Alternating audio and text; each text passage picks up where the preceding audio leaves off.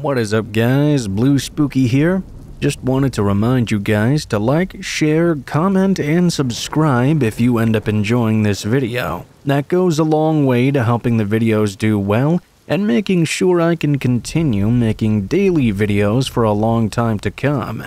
If you guys have any thoughts about the stories in this video, please be sure to leave them in the comments below, as I love reading your guys' thoughts on the stories therein. Without further ado, I'll let you enjoy the next hour of true scary stories and I'll see you guys again at the end of the video.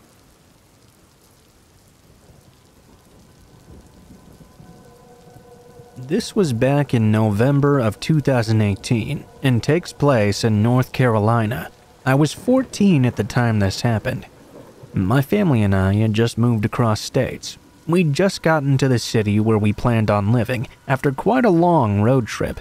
We were all extremely hungry, so we decided to go grab dinner before we went to pick up the keys to our new house. We went to this local pizza shop. Since we had our dogs with us because we hadn't moved into our house quite yet, we decided to eat out in the car. I'm a pretty fast eater compared to the rest of my family though, so I finished well before any of them. After I was done, I decided to bring my puppy out to do her business real quick. We were standing just a little ways up from the car, playing in the leaves on the ground together. I grew up in Florida, you see, so I wasn't used to seeing these large piles of autumn leaves. There I was, just living my best life, not paying attention to my surroundings, when all of a sudden I felt a tap on my shoulder. I turned back to see a man. My dog noticed him immediately and tried to jump on him as she does with anyone. I pulled her back while I backed away from this random guy.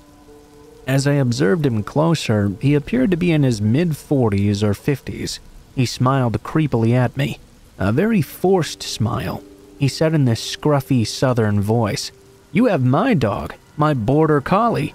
Immediately, a red flag went off in my mind. My dog very obviously looks nothing like a border collie. Now, let me tell you, I'm horrible at confrontation. So instead of confronting him directly, I just nervously said, I think you're mistaken, sir. This is my dog. I didn't even think to tell him how my dog didn't look anything like what he was describing. I looked over quickly to my parents' car that was just a couple of feet ahead of me, unsure of what to do in this situation. It seemed they hadn't even noticed the man approaching me, as they were all on their phones. The man then asked me this Well, if that's not my dog, would you be able to come help me look for it? I could feel my stomach drop in that moment. I didn't want to make a scene. I wasn't sure if I was overreacting or not, but I'd read my fair share of kidnapping and sex trafficking horror stories, so I did have a vague idea in the back of my mind about what was going down. He then said something along the lines of, I have some money in my truck for you if you'll help me. My hands were sweating at this point. This was something straight out of a Reddit thread or a movie or something. He pointed over to a very sketchy, run down looking truck. I told him I was too busy and I had to leave right now. Best of luck finding his dog, though. I was still trying to keep him on my good side. Looking back on it now, though, I don't know why I didn't just tell him my parents were right there. If I did, maybe he would have backed off. I guess I was overly worried about what might happen. I was trying to be polite so we wouldn't get mad and escalate things further. All of a sudden, he grabbed my dog's leash out of my hand and said he had treats at his truck. He then started to walk away with my dog. I grabbed the leash back and tried to pull it away from him, sternly saying, I have to go right now.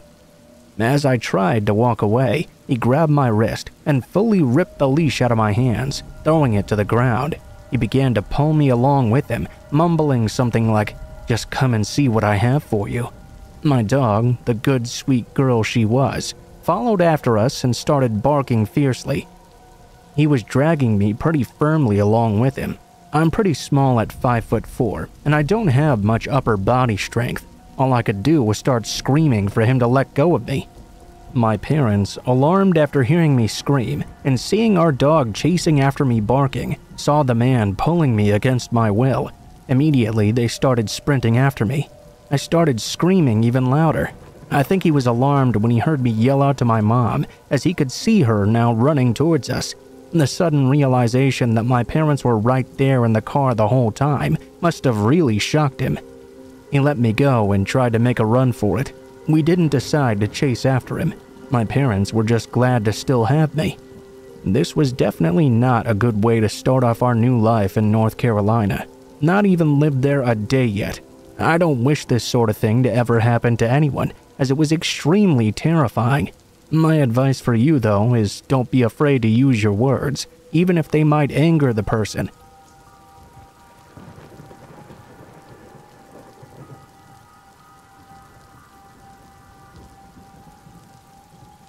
I went to college in a historic mid sized city in Florida, and at the time lived in a duplex downtown, maybe about three blocks from campus or so. The city is known to be pretty safe, and I lived in a pretty decent area with large historic homes near me. It took place about three years ago. A little backstory that will become relevant. The duplex I lived in had a front door that locked, and then both the upstairs and downstairs units had their own locking door as well. I lived downstairs and had two roommates, but this specific night only one of my roommates was home.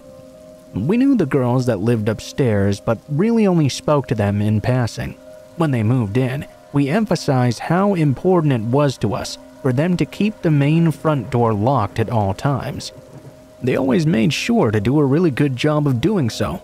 So, me and my roommate are in for the night, knowing the front door is locked and smoking a few joints. At some point, we hear a knock at the front door and quickly realize the girls upstairs must have ordered a pizza. Later on, we came to find that they'd forgotten to lock the front door again after receiving that pizza. So, we finally go to sleep in our own rooms. Since I had a queen bed, I would often sleep with my phone and laptop right next to me in my bed.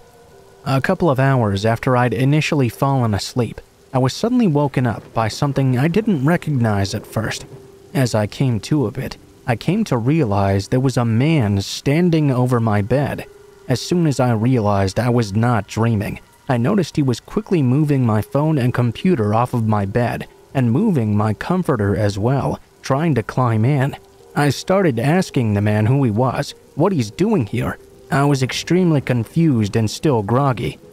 I was also still slightly high from before I'd gone to sleep. The only thing he said to me, multiple times, was that he was just trying to get into bed. At this point, I began to panic, as my mind obviously went right to the worst. I was hoping that maybe my roommate had invited some random Tinder guy over and he'd simply gone to the wrong room. But the more I tried to question him, all he had to say was that he was going to get into bed with me.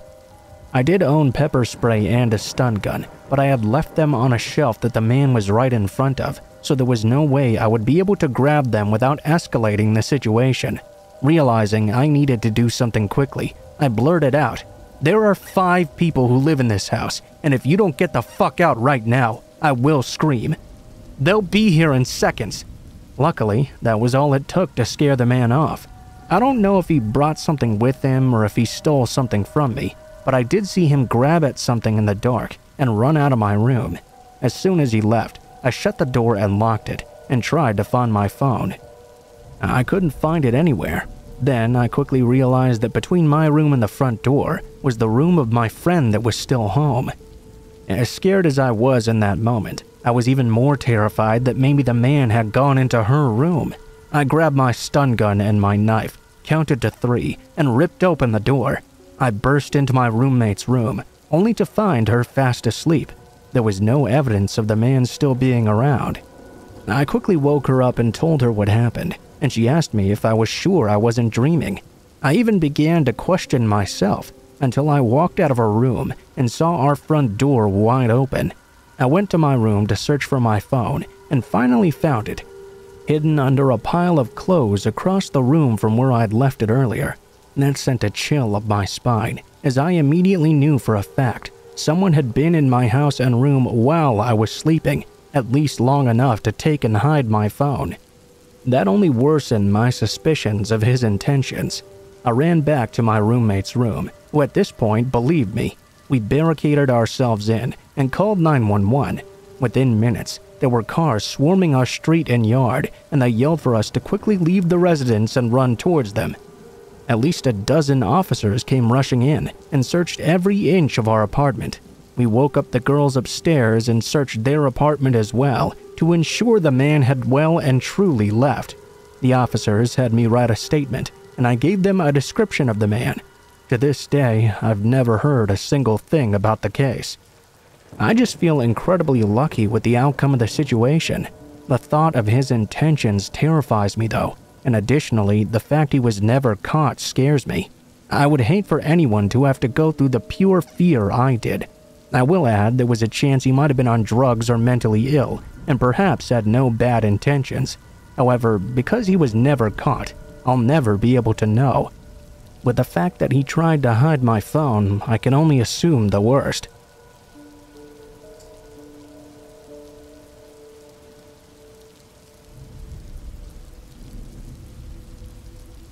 So I'm a bartender at a gentleman's club. Our uniform, if you can call it that, is a very short, skimpy black dress and black bra. Due to my uniform being the way it is, I do my best to not have to go out in public directly after work. This is due to dirty looks and perverted comments that I really don't have the time or patience for. Back before the current state of the world, I had just gotten off work it was around 2:30 a.m., I believe, and I decided to run to my local Walmart to grab some dog food and other household items. I was thinking there probably wouldn't be anyone there besides staff so late at night. I ran in with a jacket on as well to try and be at least a little bit modest. I went directly to the pet aisles. I could see there was a guy stocking the shelves. I gave a small wave and smiled, and proceeded to looking for my dog's brand of food. I grabbed a 20 pound bag, and the man asked if I needed some help. I'm not really a small girl, but I do have a slight frame. I'm tall, but very skinny, if that makes sense. I told him I was fine, thanked him, and headed to the grocery section. I was in the freezer area when my stalker slash stalker showed up again, this time with another guy. They were just standing there, watching me decide which pizza to pick. When I turned to leave, the man once again asked if I needed any help. I told him no, thanked again, and smiled. I then made my way to the checkout aisle. On my way out, I saw a man heading out about 10 feet behind me. I quickly walked to my car, threw my purchases in the passenger side, jumped in, and locked my doors immediately. I was worried this person would try to follow me. All I wanted to do was go home. I felt dumb after realizing the man was going to his own car, and it was situated nowhere near me. Breathing a sigh of relief, I started my 15 minute drive home. I was about halfway there when I noticed that black car behind me, taking all the same turns as I was. I live in a very rural area. It's possible he lived nearby, but there weren't many people who ever took these roads, especially not this late at night. I turned a road after mine, and he made the exact same turn. This led to a dead end road with only a cow farm at the very end, so I knew now he was definitely following me. I called my boyfriend and told him what was going on. I didn't want to drive home where he would know where I lived, and asked my boyfriend to meet me at Walmart instead. I sped the whole way there, hoping a cop was sitting somewhere and would pull me over, the black car was right on my ass. I pulled into the Walmart parking lot and parked directly under a street lamp. The black car pulled into the spot directly across from mine. Now I was freaking out. 15 seconds later, I saw my boyfriend's truck rushing into the lot. He pulled up right next to me, asked if I was okay, and I pointed out the car to him. My boyfriend was not a small man. He was about 6 foot 4 and very muscular as well. His arms alone were about the size of my head. He's a very intimidating person if you don't know him, but really he's a very quiet and kind man. He hopped out of his truck and started to walk over to that car, yelling at them. You need to talk to her about something, or you need to talk to me. The guy in the black car immediately rushed off. I don't know if it was the same man who was hanging out with the stalker or what, but that's why I don't go out after work anymore.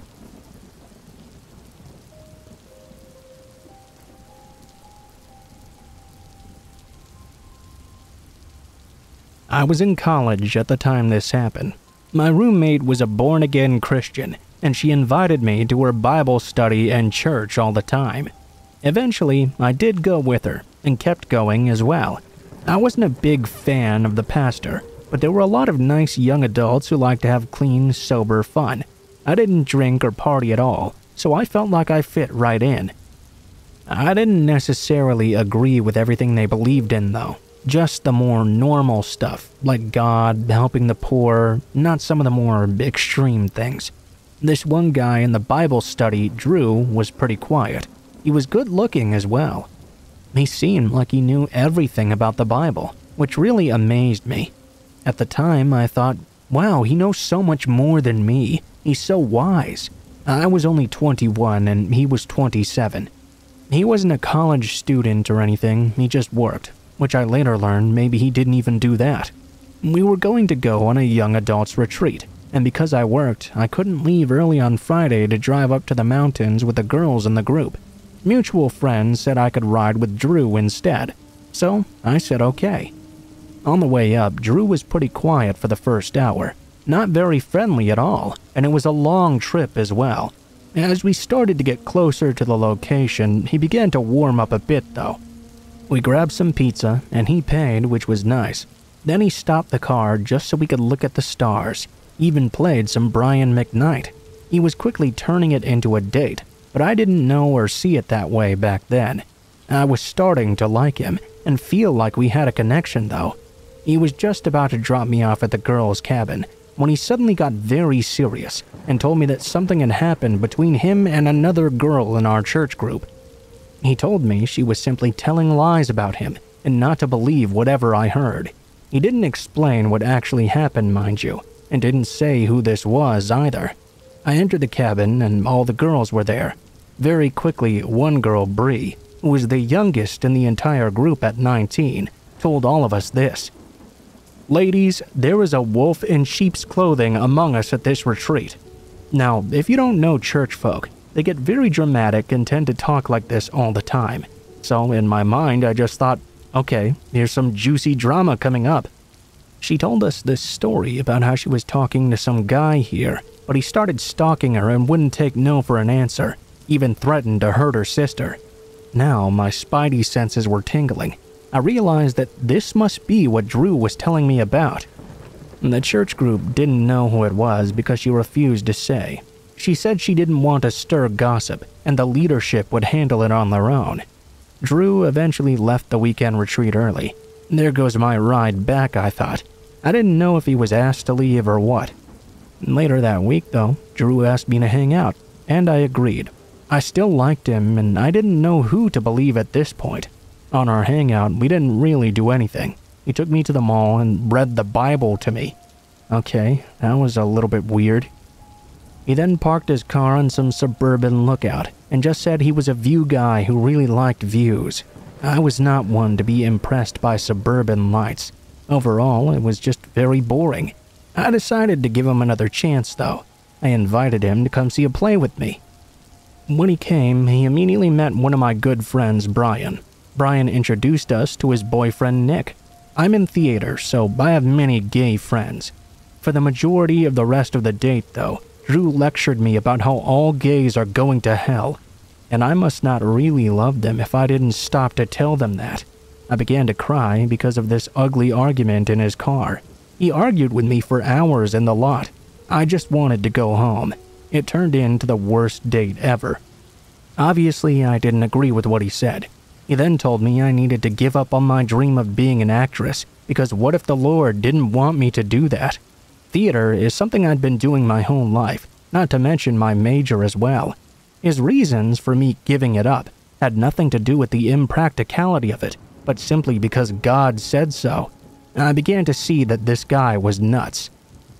I got home and I offered to make us some cocoa to just kind of end things as friends, or at least on a better note. I knew I would see him at church in the future, and we had mutual friends as well. Things were going to get weird if it ended badly. He tried to get sexual with me and then blamed me for tempting him. I ended up crying even more. I just wanted him to go home, but I was so emotionally exhausted I didn't really know what to do. He eventually left, called me and texted me that week, but I refused to respond. Sunday night rolled around once more. I was talking to my friend Tim, who no longer went to that church anymore. I told him I'd gone on a date with Drew, and before I could even tell him how it went, Tim said, What? That guy is crazy. You need to abort that mission right now.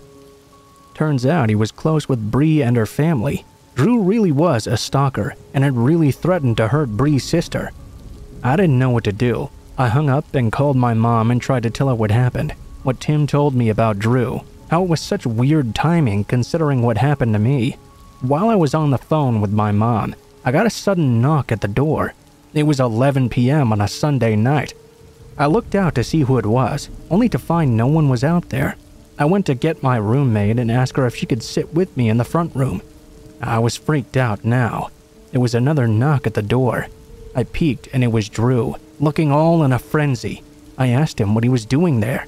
He said he needed to talk to me. I wasn't answering my phone, so this was the only way.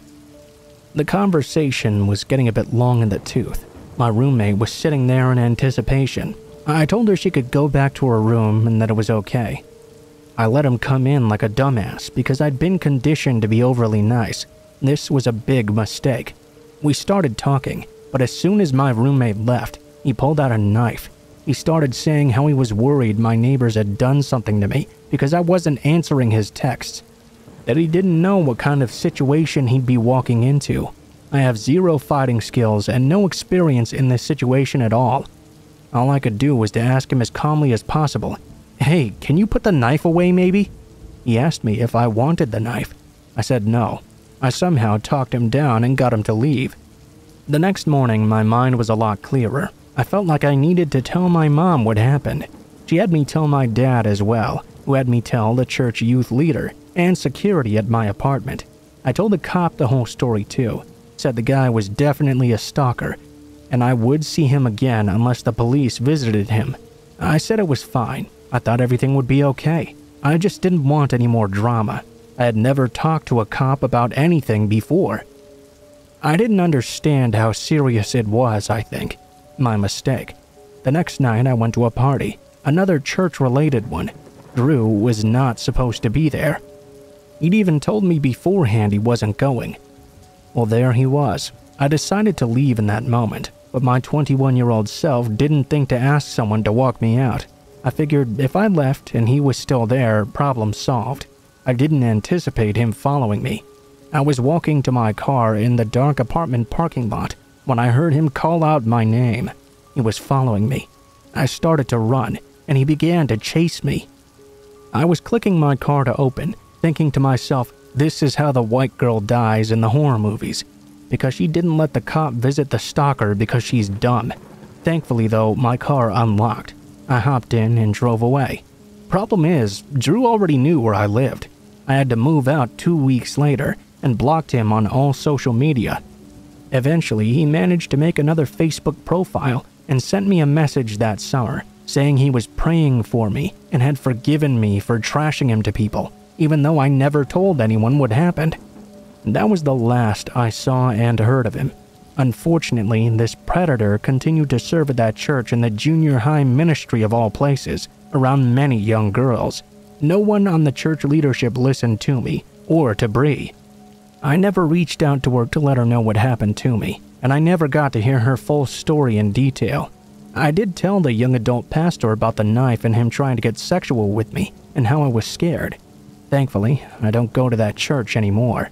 This was all pre Me Too movement. What sucks the most is I've had quite a few experiences with crazy religious dudes just like him. This was the first, but definitely not the last. I'm still trying to come to terms with why exactly that is.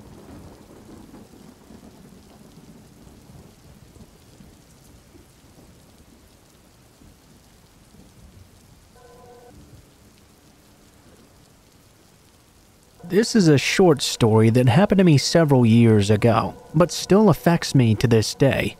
Now, objectively speaking, this may not be the most scary story you've ever heard, but the image is surely burned into my mind and is something I don't think I'll ever forget.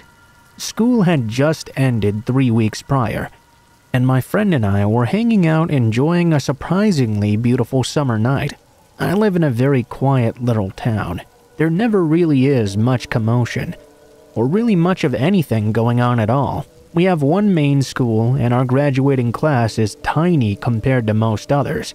Around midnight, we'd gotten pretty sick of playing games and wanted to try something different. He suggested walking around outside to enjoy the beautiful, clear summer night. Without much hesitation, I agreed. It was after midnight in a quiet town, so I figured not much could possibly go wrong. My parents were already asleep, but they trusted me anyway, so sneaking out just to walk probably wouldn't have been a huge issue. We ended up staying out for a couple of hours. We talked about movies, wrestling, what our plans for the rest of the summer would be. Up to this point, it had actually been one of my favorite nights in a long, long time. Just enjoying the nice breeze, the moonlight, and having a wonderful conversation with my good friend.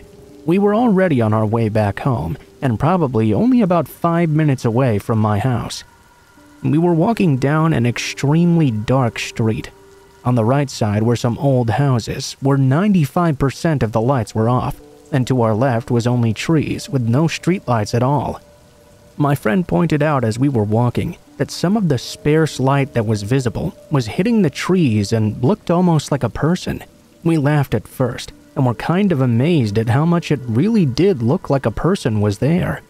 After a moment more of observation, though, the laughter swiftly faded away as we realized that this was not just a shadow.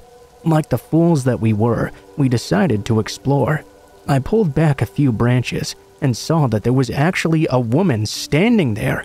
She had this huge, disturbing smile on her face. She was old, probably in her 70s, I would guess. The weirdest thing is, she was dressed completely normal and had lots of nice jewelry on as well. She looked exactly like how my grandma would dress for holiday parties. She was just standing there, in the brush, still as a statue, and smiling at us. For a moment, we were just stood there in shock and surprise. In a split second, her smile vanished, and she jumped out, screaming at us and beginning to chase us. We started to run as fast as we could back to the house. When I turned to look back, to my knowledge, she didn't continue to follow us any further. She just stood there with that disturbing smile, I know most people might not find that particularly scary, but in the middle of the night when you find a creepy old lady hiding in the trees and watching you, it really rattles your cage. Nothing else of note came from this incident, but as I mentioned previously, I'll never be able to get the image of her smiling and suddenly screaming and chasing us out of my head.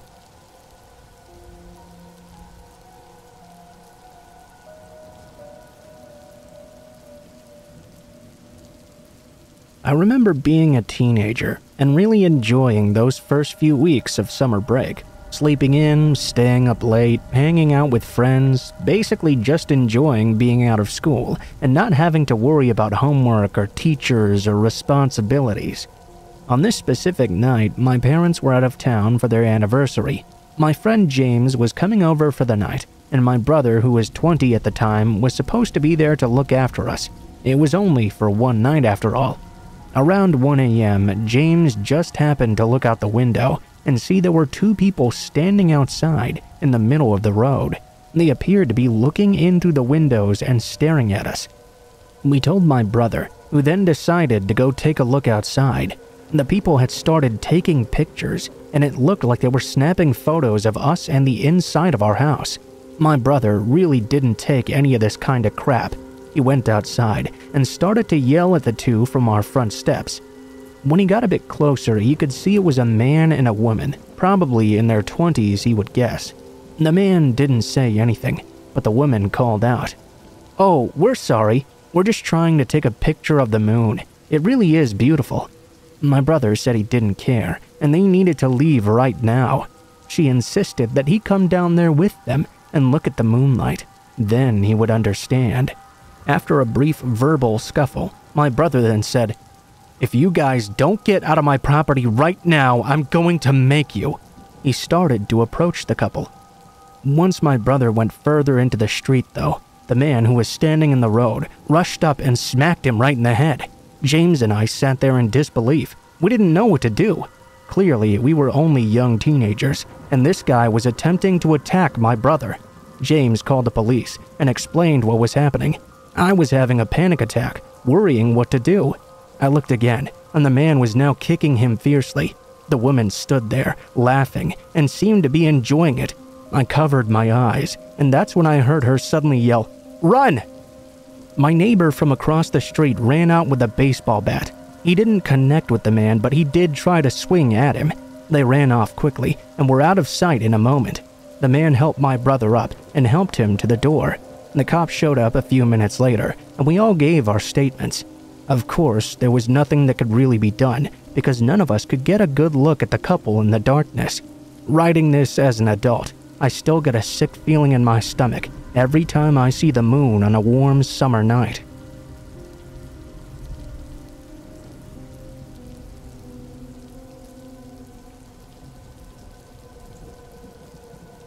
So, the events of this story happened to me several years ago, during the last vacation my family and I ever took during summer break. Every year, we used to drive a couple hours away from my hometown to a beautiful tourist area near the ocean with lots of great seafood. This year was no different, really. We decided to leave in the middle of the night when my dad got off work. That meant we would arrive by 7 a.m. and have the entire day to spend at the ocean. The first part of the trip was great, actually. I slept for a bit, as did my sister and mom.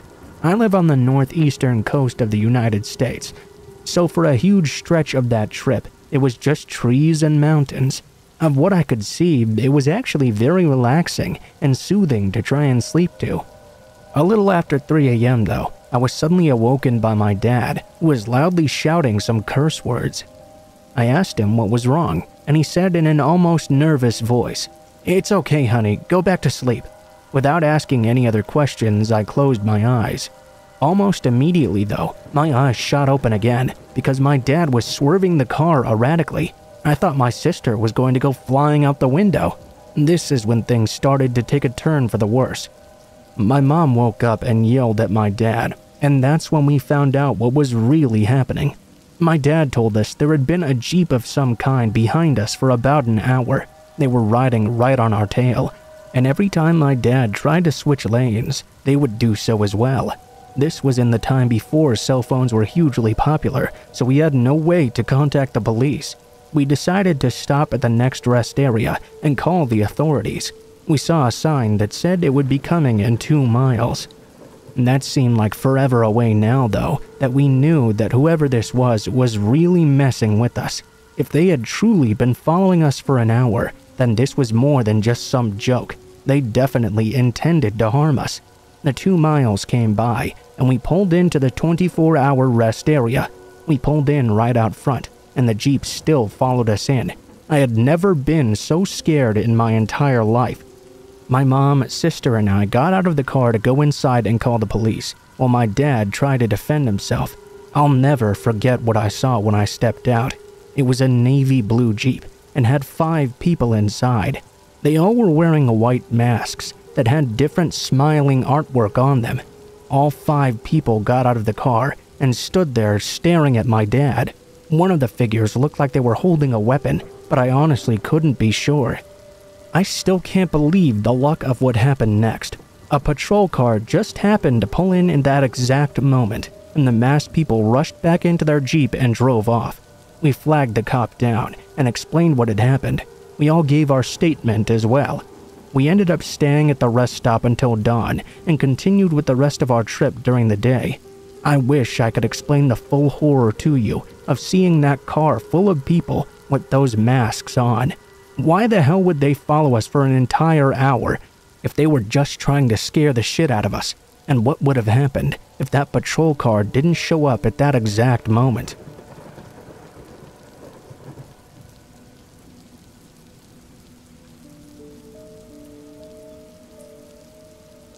so I might have a different perspective on summer than most of you.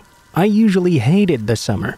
My parents both worked during the day, and that left me to do all the chores every single freaking day. I hated it. My friends were all out doing everything they wanted, while I had to do house and yard work. One particular day, I was tasked with painting the spindles on the front porch, which would probably even take more than one full day to do. While I was out there painting, I heard the loudest noise coming from the street. It sounded like someone was rolling a tool chest down the road or something. I looked over and saw an old guy with a cart that had a bunch of what looked like tools on it. After looking further and putting two and two together, it appeared to be a portable cart to sharpen knives. Having some extra cash and thinking I would do something nice for my parents, I flagged the man down. I ran inside and grabbed the knife block to bring out the knives to be sharpened. I told the man I was doing it for my parents. He looked over at me and whispered in my ear, Such a nice boy. He completed the sharpening for me, and I gave him the cash. He thanked me and continued down the road, slowly but surely. When my parents got home, I could tell they really appreciated the gesture. I think, though, they were more focused on the painting and how good of a job I'd surprisingly did. That night, I slept in my living room so I could stay up and watch TV without waking my parents up. I had to pause the TV at one point, though, because I began to hear a weird, loud noise. I moved the blinds near the couch and looked outside. I saw that exact same cart from earlier.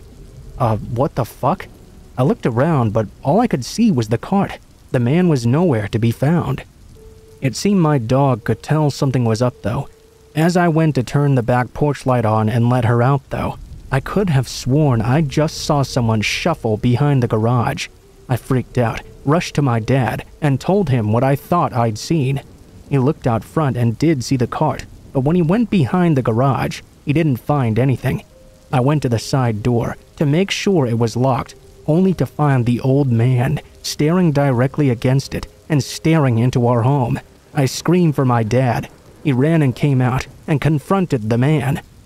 I don't remember exactly what he said, but he was yelling like he never had before, shouting expletives all over the place. He called the cops right away, and the cops eventually showed up. They took statements and took the man who was surprisingly still there away. I think he was charged with trespassing or something along those lines. It's been years since these events have taken place, and the only thing I can still really visualize are those spindles on the front porch and the old man's face pressed against the side door when I went to go look at it. I don't think I'll ever forget that image, as much as I'd really like to. Anyway, I hope that story spooked a few of you out there. And if not, I hope it at least was a good one to fall asleep to.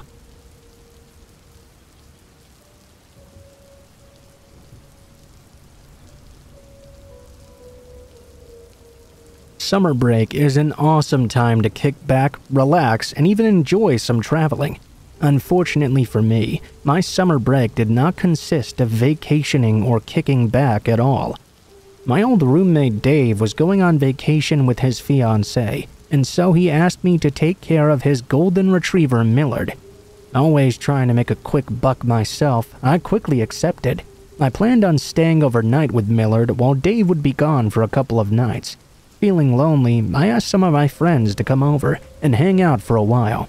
We sat outside, ate some wings, and just hung out for a couple hours. I had to work at 6:30 in the morning though, so I kicked them all out at around 11 and decided to go get ready for bed. I put on the TV and made myself comfortable on the living room couch. I started to doze off, and while I was going in and out of sleep, I suddenly heard the doorbell ring. I kind of jolted awake and sat still for a moment. I thought perhaps it was only the TV. Maybe I just woken myself up thinking it was the actual doorbell. That was quickly proven false though, when the doorbell began to ring over and over again. My heart was practically jumping out of my chest. I grabbed my watch and saw it was close to midnight. Who the hell could possibly be at the door at this hour of night? I slowly approached as the bell continued ringing. I could see there was a shady looking man outside with a backwards ball cap on. He had a big brown bag in his hand as well. I opened the front door a crack while still keeping the chain on. I didn't open the screen door either. I quickly asked the man what he wanted.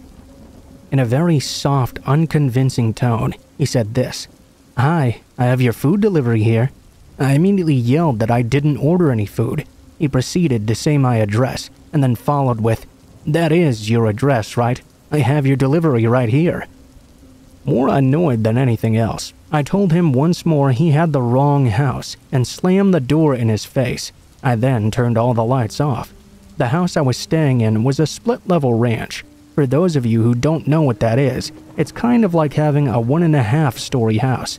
The basement is usually a living room and not completely underground either. The windows are about eye level. I went to check on the basement part of the house and was looking out the front windows. The man was just sitting in his car, the car not on, and still parked in my driveway. I was a little bit spooked at this point, so I called my brother to tell him what happened.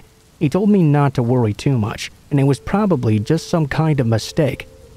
I agreed and went to check back out the window, only to see the car was still there in the driveway, but the man was no longer inside. I grabbed the dog and locked myself in Dave's bedroom. She barked and growled all night long. I'm not sure if it was because she could hear things outside or because she was stuck in the room with me. I hardly slept a wink that night, and when it was time for me to leave for work, I got ready in the bedroom, then ran out of the house as fast as I could. I had a brief moment of relief when I noticed the car was no longer in the driveway. That soon changed, however, when I turned the corner and saw the car was now parked at the side of the road. I went to work terrified. I blasted my friends that day, asking them if this was some kind of practical joke. They assured me, though, that it was not them. I came back to feed Millard after work with one of my friends, and we noticed footprints circling the house and scratches on the siding where one of the back windows was. It looked like someone had tried to scare me, or perhaps actually tried to break in and had simply been unsuccessful. In hindsight, I realized I probably should have gotten the license plate number, but I just thought I was maybe being paranoid. I could have also asked what company they represented so I could call to see if it was a real order or not. When Dave returned, I brought this event up to him, and he said he'd never had an experience like this. Maybe it was simply a fluke. Maybe the delivery person was pissed they got pranked and now stuck with the bill and decided to take revenge. Or perhaps I was in some real danger. Either way, this is one summer night I still bring up to my friends when they want to hear a freaky story.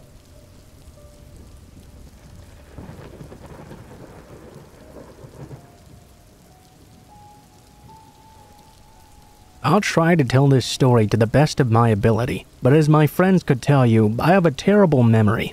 Some details may be weird because of this.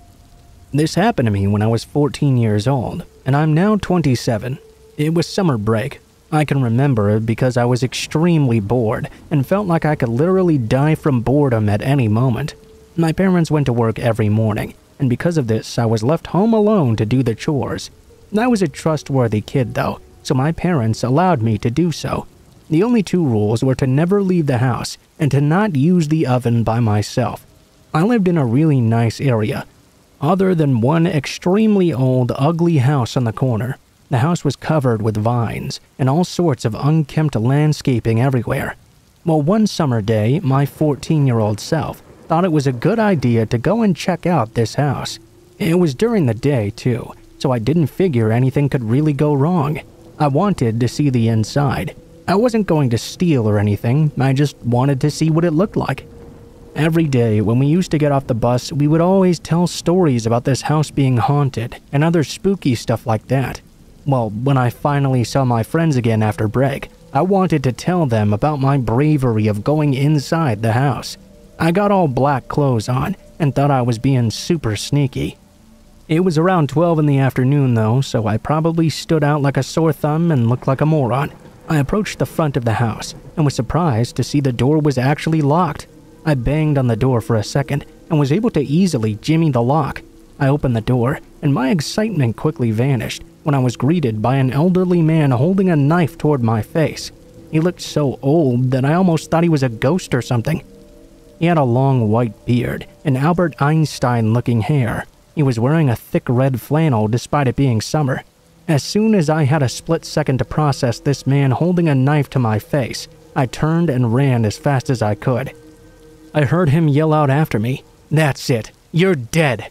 I, of course, had no idea what he meant by that. My 14 year old heart was beating out of my chest. I was in amazement that somebody actually lived there. I was starting to panic that I was going to get arrested for breaking in. My parents were going to kill me, and I was going to be in so much trouble. Well, sure enough, several minutes later, the police showed up at my house, and my parents were called right away. The cop was really nice, and I explained to them that I thought it was just an abandoned house.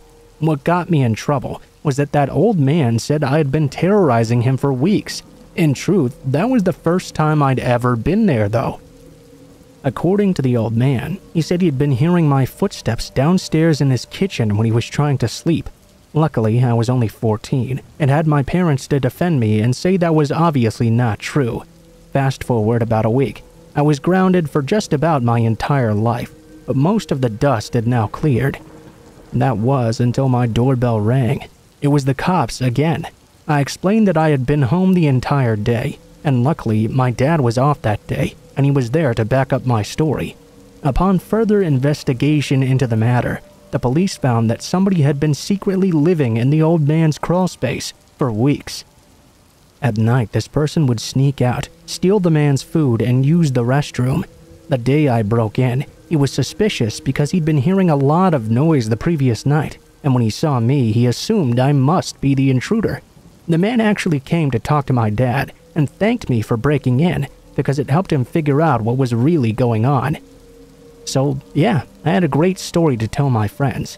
Sad thing was, I was grounded for the remainder of the summer and was going to have to wait for school to tell them.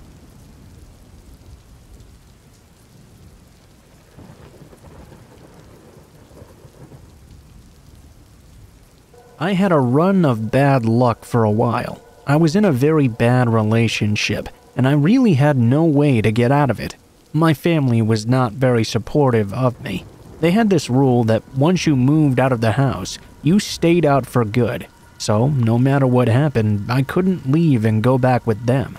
Most of my other relatives lived far away, and I had lost contact with most of my friends during the relationship as well. I wasn't really going to be able to stay with anyone. In order to get out of the situation, I had to do something I never thought I'd have to do in my life. I decided to run away and live in my car. Now, while it sounds like it might have been really bad, actually it wasn't really so awful. I had blankets and pillows, and I could just lay down in the back seat with no problem. I could listen to talk radio and sports when I was bored, and I could also find something to read. I had a roof over my head and protection from the elements, for the most part. The only thing that was really difficult was finding a safe place to park. It wasn't that difficult during the day. I would just park at my place of business and go in for work. I could hang out in the parking lot for a little while, but I couldn't stay there for too long. If my boss found out I was living out of my car, what might he have thought? Also, I couldn't spend too many nights in the same parking lot either. I would likely draw too much attention to myself. I had been staying in the parking lot of an apartment complex for a few nights, when I inadvertently caught notice of a drug deal going on. Although those involved in the deal didn't seem to see me, I didn't feel safe parking there anymore. The following evening, I looked around until I eventually found the parking lot of a small restroom in a park. I wasn't exactly sure I wouldn't be found parking there, but I was too exhausted searching for a new place and thought I could get at least a few hours of sleep before being found. I wasn't sure for how long I actually slept. It's important to know that when I slept in the back seat, I completely covered myself in blankets so I wouldn't be seen. Out of nowhere, though, I got woken up by this strange screeching noise. It was so weird. I remember twitching under my blankets listening to it. I didn't completely wake up, though. I was used to hearing weird noises after being in my car for so long. Likely it was just another car, so I shuffled around under my blankets to get a bit more comfortable and tried to fall back asleep. Just before I could drift back off, though, I heard the screeching sound once more. I groaned a little out of annoyance, wondering what this noise was yet still. I didn't think I needed to get out from under my blankets yet, though. Parking lot noises were just something you had to force yourself to put up with. I tried to force myself to go back to bed, when suddenly I began to feel a shaking movement. I was still half asleep, so I couldn't quite figure out what that feeling could be at first. Then it began to happen more. The second time, I was a lot more certain I knew what that feeling was. Someone was making my car bounce up and down. I quickly and fully woke up. I was too scared now to look out from under my blankets, though. It only took a few more bumps and then another creaking noise before I realized that whoever was doing this must have known I was there in the back seat. Peeking out from underneath my blankets, I saw two things initially. There was a young man standing on the front of my car, jumping on my car to make it bounce up and down. But the thing that scared me the most, the creaking sound was coming from a man who was using the tip of a large knife to scrape against the side of my car. He pressed it up against the siding, then the window. Fortunately, my doors were locked. I also kept my keys with me under the blankets. This was so no one could see my keys in my car and think it was a free steal or something. I quickly snatched them up. I had been living in my car for weeks, so I could easily get into the front seat quickly. I grabbed the keys, and the man with the knife began to pound on the window when he saw I was getting up. The other guy kept making the car bounce more and more. I put my keys in the ignition and started the car. I didn't care about the guy making my car bounce up and down, so I put the car in reverse and slammed the gas, sending him flying to the ground. I didn't care though. The other guy came after the car, trying to stab at my window while screaming obscenities at me. He was swishing his knife back and forth in the air. Again, I didn't care. I made it perfectly clear I was willing to run him over. He got the picture and got out of my way as I sped off into the night. The side of my car was all scratched up and looked like crap, but I realized how dangerous it was to be doing what I had been doing. I stayed in a hotel room every night after, it was a very cheap hotel, and not the cleanest in the world, but it was much safer than staying in a parking lot.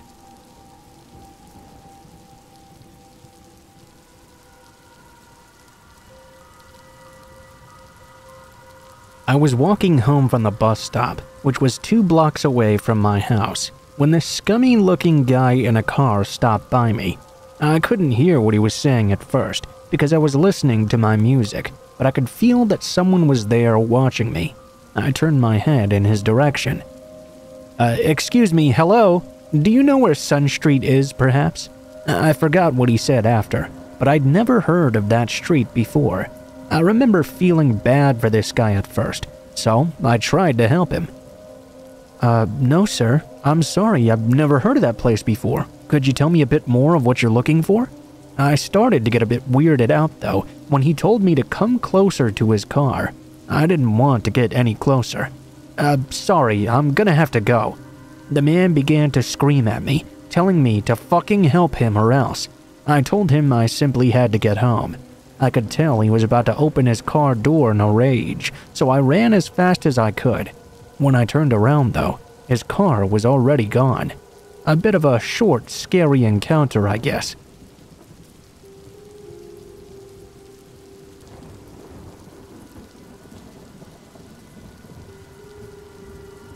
This happened a very, very long time ago. I hope my memory is intact and that I'm telling the story as close to exact as how it happened. Although born and raised in the Midwest, I went to live on the West Coast after I graduated high school. I was one of those people who thought he would hit it big time in Hollywood. There were just as many of us back then as there are nowadays. I was able to get a decent job and a good enough car that I could travel back home at least once a year to visit my family. And trust me, there was no way I was going to get any of them to drive out to California to see me. If you've gone for a long drive, you know exactly what that's like. It can take a long time to get to where you're going, and back then we didn't have internet to check the weather for an entire trip.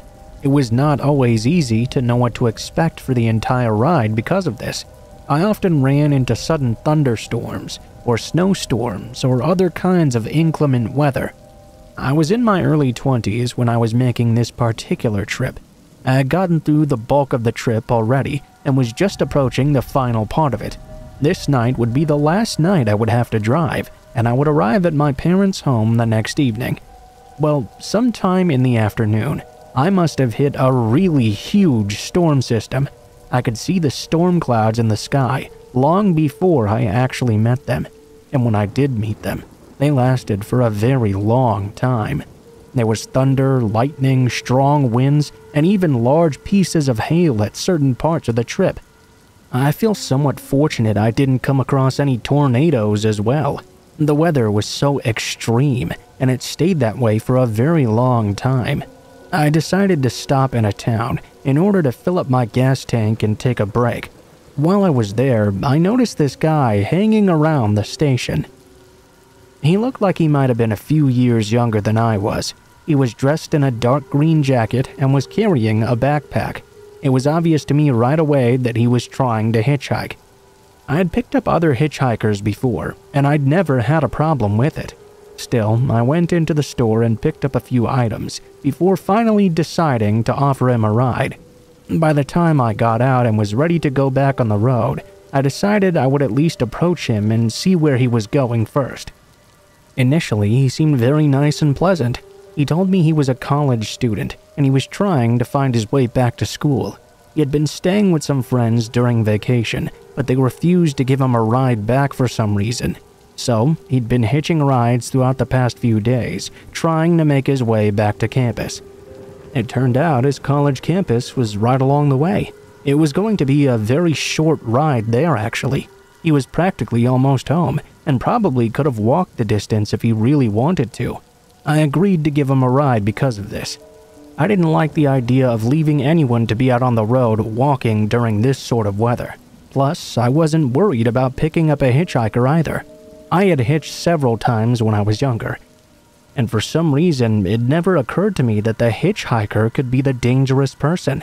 I always wrongly assumed it had to be the person driving the car, for the first part of the ride, everything seemed pretty normal. We made the usual small talk that anyone tended to make in such a situation. I asked him about various things such as school, and he seemed to answer them honestly. He also asked me what I was doing driving in this weather, and I told him that I was visiting my family. It was mostly a pleasant time. As we got closer and closer to the town that his campus was by, however, his mood began to rapidly change. Where he was at first in a decent and very talkative mood, he slowly went quiet and seemed to get very agitated. I wanted to ask him what was wrong, but for some reason I felt it would be wrong to do so. I didn't ask him but kept talking to myself. I also kept an eye on him to see if anything was wrong. I really started to get nervous and began to wonder if I had made a mistake in picking this guy up. He didn't seem angry though, and didn't seem annoyed that I kept talking, when he slowly went quiet. It actually seemed more like he was very scared of something. When I first suspected it might be fear, I wanted to try and figure out what could be scaring him. But again, I didn't know how to bring that up to him. I just kept it to myself and was only talking about things I didn't think would upset him. When we got into town, it was still storming very hard outside. I asked him if he wanted me to take him onto campus and to his dormitory. He shook his head though and sort of muttered that he didn't live in a dorm. He said he would give me off campus directions to his house and told me to make a few turns after. Other than giving me directions, though, he refused to say anything else. In fact, he seemed to be getting more agitated. He told me to turn onto the street where the house he stayed at was. I pulled up in front, and he asked me to honk the horn once to let his roommates know he was home. He didn't have a key to the house, he explained. Although I found this request odd, I still did so. The front porch light went on. Then I saw the door shoot open, and a few men rushed out the front door. They began to approach the car. Out of nowhere, the guy told me to drive off right now. I looked at him strangely, and his agitation had gone to a full blown panic. He began hitting his leg with his fist and urging me to go right now as quickly as possible. I didn't know what was going on, but he seemed to be absolutely terrified. I put the car in gear and shot off down the street. Looking into the rearview mirror as I drove away, I noticed that the guys were now sprinting down the street towards us. One of them was yelling and screaming something, but of course, there was no way they could keep up with us. My passenger told me to turn, and told me to take several different turns very quickly. I did exactly what he told me to, but kept asking him what was going on. He didn't say anything at first, but kept telling me to go in certain specific directions. When we finally pulled into a parking lot, He told me to cut the car off. I was confused by what was going on, but the way he was acting was concerning enough for me to do what he said. He explained to me that the whole thing was a setup. He was supposed to hitch a ride, take the driver to that house, and then the people at the house were all going to attack me. That's why he'd had me honk the horn. He said that he wasn't comfortable with the idea though, and changed his mind at the last minute since I was so nice. That's why he kept getting so agitated in the car earlier. He apologized, but before I could even respond, he opened the door and ran off into the storm. Honestly, I was stunned by what had happened. I hadn't realized how close I'd come to getting attacked, and who knows what else by this hitchhiker and his friends. I was appreciative that he'd changed his mind, sure, but I was really worried about what would happen to him when he met up with those guys again. I mean, surely they would punish him for backing out. I drove around a little to see if I could find him, but he disappeared into the storm way too quickly. I gave up after a bit and resumed my trip home. The rest of the trip went very smoothly, and I had a good time with my family after.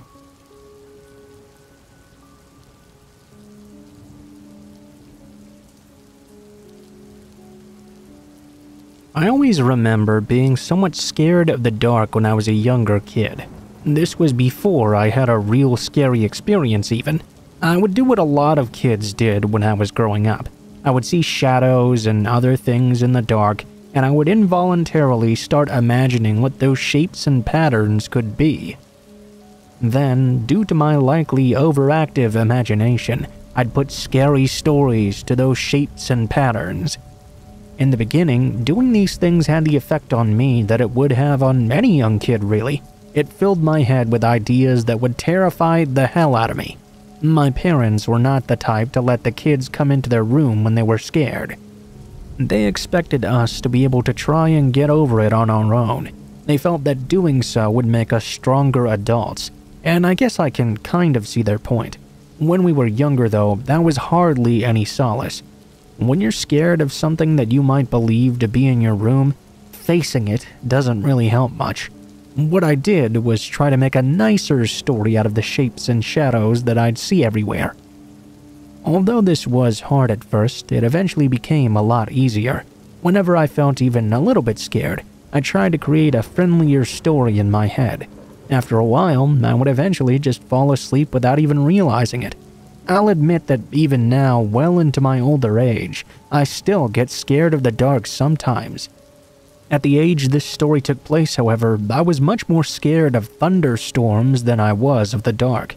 There was a night when I was 12 years old that I had a scary experience that was both in the dark and during a thunderstorm. It was on a Friday night, which I remember because I was the only kid who was home that night because of it. My other siblings had all gone off for weekend sleepovers, which they were only allowed to do on Friday nights. I knew it was going to be quite the storm because the clouds on the way home from school were looking pretty damn dark and scary. I also knew it was going to be quite the doozy of a storm as well. By the time that I had dinner with my parents, the storm had hit quite fiercely. It was going to be unfortunate though, because at the time, my parents were doing a part time job every Friday and Sunday night. There were housing subdivisions opening up in the area and doing house showings, so every Friday, my parents would go out at night and put up signs that would guide people to the subdivisions all over the county. They normally left right after we would have had dinner and would not get back until well after midnight. I was concerned for them being out in the storm, of course, but I was also quite concerned of having to be by myself the whole time. I knew that with my siblings at their friends' houses and my parents out working, I would have to weather the storm all by myself. I stayed up for a while watching TV. If I hadn't been so tired, I likely would have tried and waited for my parents to get home before trying to sleep. Watching television, though, I found myself drifting off a few times. I realized I was probably not going to be able to make it and tried to simply go to sleep. I originally fell asleep pretty easily, but I woke up when a loud crack of thunder shook my house. I opened up my eyes and jumped up in my bed just a little. It took me a moment to get my wits about me. It was unusually dark, much darker than it normally would have been otherwise. A quick look over my alarm clock showed that the power must be out.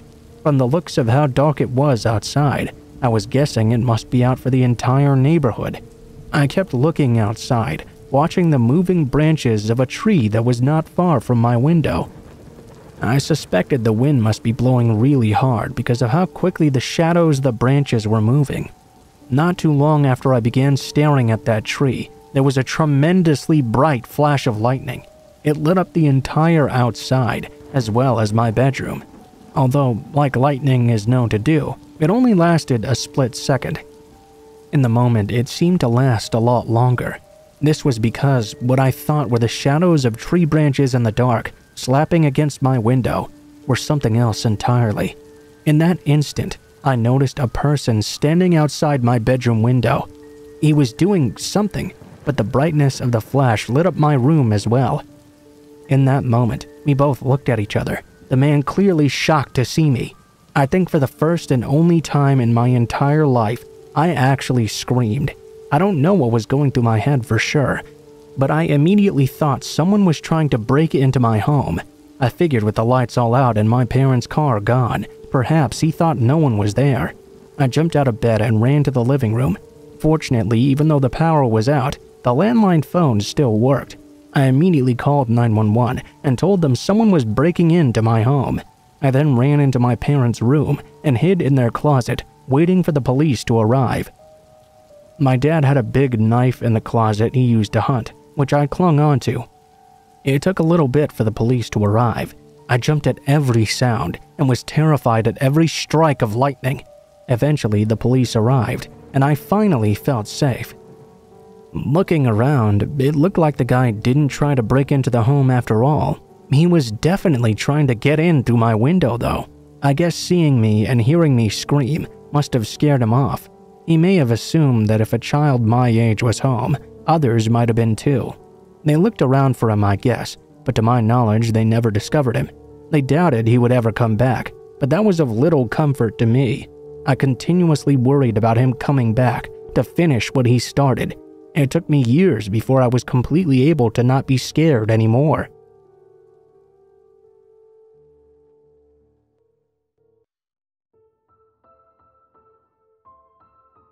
What is up, guys? Blue Spooky here. Thank you guys so much for watching, especially if you made it this far to the end of the video. If you liked the video, please be sure to like, share, comment, and subscribe if you feel so inclined.